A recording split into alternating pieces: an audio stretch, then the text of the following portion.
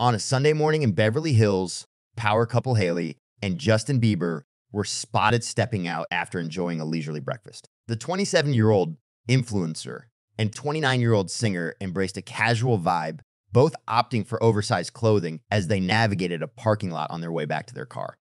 Hailey, fresh from a winter getaway in Aspen, sported a chic ensemble featuring a striped polo shirt paired with a notably large leather jacket. Complementing her look were slim fitting blue jeans, leather shoes, and a sizable purse. With sunglasses, a black hat, and her brunette hair neatly tied back, Hailey exuded effortless style.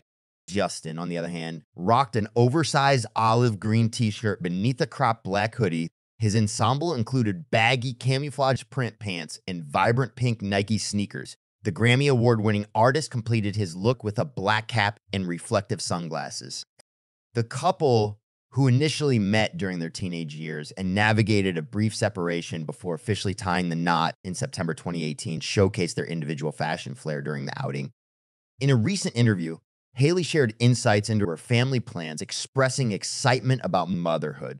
Reflecting on the public interest in her prospective pregnancy, she remarked on the intimate nature of such matters emphasizing that it will happen in its own time.